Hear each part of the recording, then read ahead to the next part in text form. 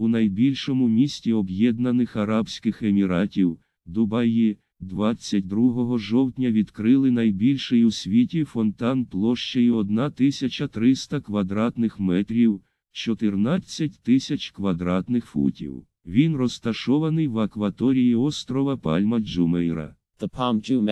У фонтані встановлено 3000 світлодіодних ламп, їх колір та яскравість можна змінювати. Струмені морської води б'ють у висоту на 105 метрів. У колекції фонтану, який отримав назву Фонтан Пальми. The Palm Fountain. 20 ексклюзивних водно-світло музичних шоу.